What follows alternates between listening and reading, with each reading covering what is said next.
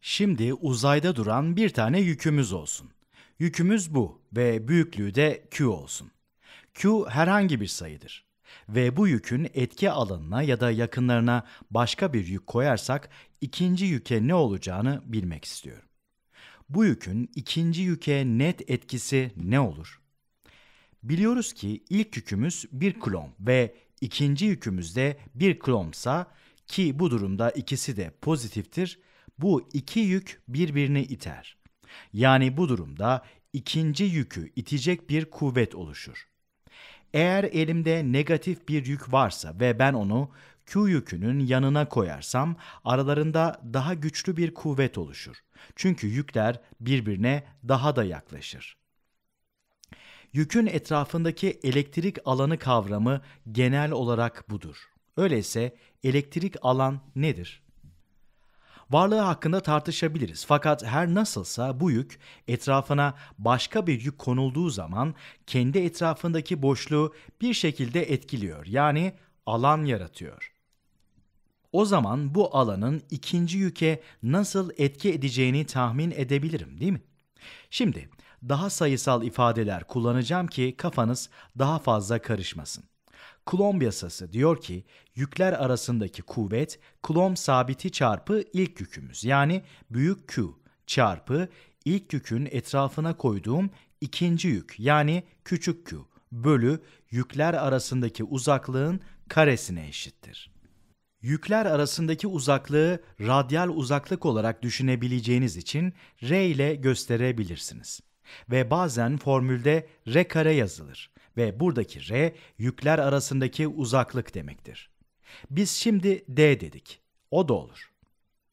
Aslında hesaplamak istediğim şey büyük Q yükünün etrafında herhangi bir noktada kuvvet bölü yük miktarının ne olduğunu bulmak. Q yükünün bu uzaklıkta oluşturacağı kuvveti bulmak istiyorum. Yukarıdaki eşitliğin her iki tarafını da küçük q'ya bölebiliriz. Farklı bir renkle yazacağım. Kuvvet bölü yük diyorum. Bu işaretlediğim noktadaki kuvvet bölü yük ki buna D1 diyelim.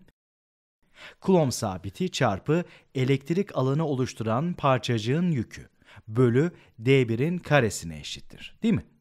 İşte bu formülün elektrik alanın tanımı olduğunu söyleyebiliriz. Evet, D1 uzaklığındaki bir nokta için elektrik alan budur. Ve eğer elektrik alanın daha genel bir tanımını yapmak istersek, bu değişkenlerin yerine genel değişkenler kullanmalıyız. Yani belirli bir uzaklık yerine bütün uzaklıklar için alanı tanımlamalıyız. Bu durumda elektrik alanı Coulomb sabiti çarpı alan yaratan yük bölü uzaklığın karesi olarak tanımlayabiliriz. Uzaklık derken yükten olan uzaklık. Eğer bana bir yük ve bu yükün etrafındaki herhangi bir noktayı verirseniz size kesin kuvveti söyleyebilirim. Örneğin elimde eksi bir Coulomb yükünde bir parçacık olsun ve uzaklığa da kolaylık olsun diye 2 metre diyelim. İlk olarak bu yükten 2 metre uzaklıkta elektrik alan nedir diye sorabiliriz. Evet, bu noktada elektrik alan nedir?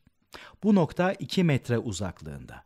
2 metre uzaklığındaki bütün noktalar bir çember oluşturur.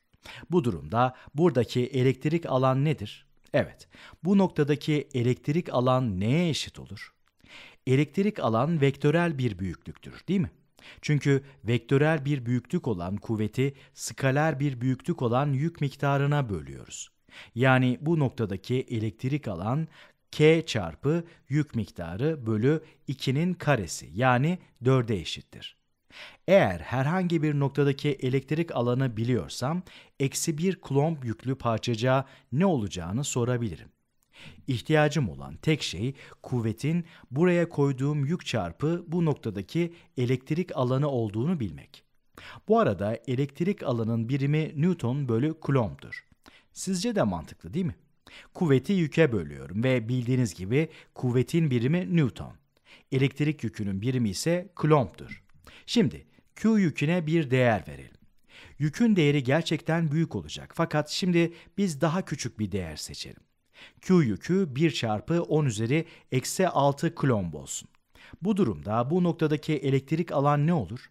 Rengi tekrar değiştirmek istiyorum. Evet, bu noktadaki elektrik alan nedir? Bu noktadaki elektrik alan Coulomb sabiti yani 9 çarpı 10 üzeri 9 çarpı alanı oluşturan yük miktarı. Ki bu da 1 çarpı 10 üzeri eksi 6'dır. Bölü 2'nin karesine eşittir. Hesaplarsak 9 çarpı 10 üzeri 3 bölü 4'e eşit olur. İşlemleri yaparsak sonucu 2250 Newton bölü Coulomb olarak buluruz. Biliyorum ki büyük Q yükü 2 metre uzaktaki bir nokta üzerinde elektrik alan oluşturuyor. Yarıçapı 2 metre olarak düşünürsek kabaca çizdiğim çember etrafında elektrik alan oluşturuyor. Ve eğer bu noktaya ki diyelim ki bir kulompluk bir yük koyarsam bu yüke etki eden kuvvet bir kulomb çarpı elektrik alanın değerine eşit olur. Elektrik alanımız 2250 Newton bölü kulombdur. Kulomblar birbirini götürür ve sonuç 2250 Newton çıkar. Bir kulomb gerçekten büyük bir değer olduğundan dolayı kuvvetin değeri de oldukça fazla çıktı. Şimdi kendinize bir soru sormalısınız. Büyük Q yükü 1 çarpı 10 üzeri eksi 6 ve diğer yükte 1 kulombken kuvvetin yönü nasıl olmalıdır? İki değer de pozitiftir. Yani bu durumda kuvvet dışarı doğrudur. Şimdi bu kavramı aklımızda tutalım ve bir parçacık etrafındaki elektrik alanı çizebilecek miyiz bir bakalım. Büyük Q yükünün yanında bir yerlere bir parçacık koyduğumuzda ne olacağını daha iyi anlamanız için bu bize yardımcı olacaktır. Evet, elektrik alanı göstermenin bir sürü yolu var. Şimdi bu yollardan birini uygulayalım. Diyelim ki burada noktasal bir Q yükümüz var. Eğer Q yükünün yakınlarına pozitif bir yük koyarsam bu durumda yükün izleyeceği yol nasıl olur? Eğer yükü bu noktaya koyarsam iki yük de pozitif olduğundan dolayı ikinci yük aşağı doğru ivmelenir, değil mi? Yükün izleyeceği yol düzdür fakat yavaşlayan bir ivme ile hızlanır. Çünkü bu noktada Q yüküne gerçekten çok yakın olduğumuzdan dolayı dışa doğru kuvvet de oldukça fazladır. Ve uzaklaşırken de elektrostatik kuvvet daha da zayıflar. Ya da başka bir şekilde ifade edersek elektrik alan daha da zayıflar. Gördüğünüz gibi pozitif yükün izleyeceği yol radyal olarak dışa doğru uzanır. Ve eğer bu noktaya koyarsam çizdiğim şekilde dışa doğru bir yol izler. Az önce söylediğim gibi düz bir yolu takip eder. Bazı yerleri düz çizemedim ama düz gibi düşünün. Eğer burada olsaydı tahmin edeceğiniz gibi düz bir şekilde dışa doğru uzanırdı. Şöyle hep dışa doğru. Konuyu anladığınızı düşünüyorum. Herhangi bir noktaya koyduğumuz pozitif yük Q yükünden dışarı doğru düz bir yolu takip ederek uzaklaşır. Ve bu doğrular elektrik alan çizgileri olarak adlandırılır. Elektrik alanın ne kadar güçlü olduğunu ölçmenin bir yolu, şekildeki gibi bir birim alan alıp içerisinde ne kadar çizgi olduğuna bakmaktır. Yani çizgi yoğunluğuna. Gördüğünüz gibi burada oldukça seyrek ve eğer daha yukarı aynı birim alanı çizersem daha fazla çizgi elde ederim. Aslında bu ikisini sileyim çünkü çok güzel bir görüntü olmadı. Şuraya bir birim alan çizersem daha fazla çizgi elde edebilirim. Evet, bu alan içinde iki tane çizgi yakaladım. Eğer aynı alanı tam olarak buraya çizersem daha az çizgi olur. Bu size mantıklı geldi değil mi? Elektrik alanın kaynağına ne kadar yakınlaşırsanız alan daha da kuvvetli olur. Anlatacağım diğer bir yolsa size daha net bir şekilde her noktadaki elektrik alan büyüklüğünü gösterecektir. Şimdi bu benim Q yüküm olsun. Ve biliyoruz ki çok yakında olduğumuz zaman elektrik alan oldukça kuvvetlidir.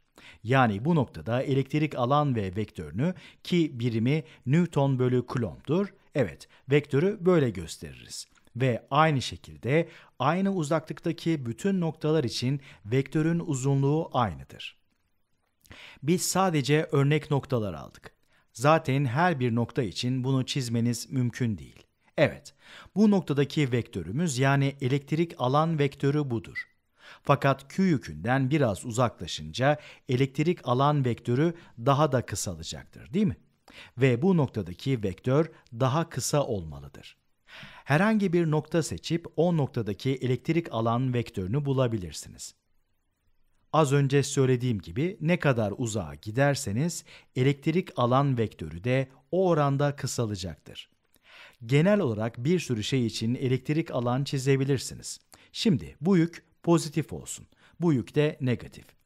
Eğer pozitif yükün izleyeceği yolu çizecek olsaydım bu yük dışarı doğru radyal bir şekilde yol alırdı. Fakat elektrik alan çizgileri pozitif yükten uzaklaştıkça negatif yüke doğru şekildeki gibi bir eğri oluşturacaktır. Oklarla yönü göstermeliyim. Ve eğer buradan yola çıkarsam pozitiften çıkan çizgi çok güçlü bir şekilde pozitif yük tarafından itilecektir. Ve fazla bir hıza sahip olacaktır. Fakat sonrasında ivmedeki artış yavaşlar ve negatif yüke doğru yaklaştıkça tekrar hızlanmaya başlar. Gidiş yolu bu şekildedir. Aynı şekilde eğer burada bir pozitif yüküm olsaydı takip edeceği yol şekildeki gibi olurdu. Burada olsaydı gidiş yolu bu şekilde olurdu. Ve eğer bu noktada olsaydı takip edeceği yol muhtemelen bu şekilde olacaktı. Bir noktadan sonra yol asla bu şekilde olmayacaktır. Dış tarafta bir nokta seçersem gidiş yolunu böyle çizerim. Bu noktadan düz bir şekilde dışa doğru açılmış oldu. Ve burada alan çizgileri bu şekilde içeri doğru olur. Yani negatif yüke doğru. Pozitif yükümüz doğal olarak negatif yük tarafından çekilir. Genel olarak elektrik alan bu şekilde gösterilir ve biz az önceki gibi alan metodunu kullanabiliriz. Eğer burada küçük bir alan seçseydim, buradaki elektrik alan pozitif yüke daha yakın bir yerde çizdiğim aynı alandan daha zayıf olurdu. Burada bir önceki alandan daha fazla elektrik alan çizgisi yakaladık. Umarım elektrik alanın ne olduğunu anlatabilmişimdir. Çizdiğim şekil aslında bir yükün etrafına koyduğum test yükünün alandan nasıl etkilendiğini bize gösteriyor. Ve umuyorum ki klom sabiti hakkında bilgileriniz tazedir. Şimdi oldukça basit bir fizik problemi çözelim. Soru şu. 6 çarpı 10 üzeri eksi 6 klom yüklü bir parçacığın durgun elektrik kuvvetini hesaplayınız. Hayır, elektrik alanı sormuyor bize. Bize sordukları şey elektrik alanın dışında duran bir elektrona etki eden kuvvet. Ve elektrik alan elektronun durduğu noktada 100 Newton bölü Coulomb büyüklüğünde. Kuvvetin genel ifadesi yük çarpı elektrik alan şeklindedir. Parçacığımız elektron olduğuna göre elektronun yükü nedir? Biliyoruz ki negatiftir ve ilk videodan hatırlayacağınız gibi elektronun yükü 1,6 çarpı 10 üzeri eksi 19 kulomdur. Formülde yerine koyarsak kulomlar birbiriyle sadeleşir. 100 10'un karesidir. 10 üzeri eksi 19 çarpı 10 üzeri 2. İşlemleri yaparsak sonucu eksi 1,6 çarpı 10 üzeri eksi 17 Newton buluruz. Evet, problemler oldukça kolay. Bence en önemlisi ne yaptığımızın mantığını çözmek. Yani noktasal yükün yanında elektrik alanın güçlü olduğunu ve uzaklaştıkça zayıfladığını, ayrıca elektrik alan çizgilerinin nasıl gösterildiğini ve bunların elektrik alanın kuvvetini göstermek için nasıl kullanıldığını anlamanız oldukça önemli.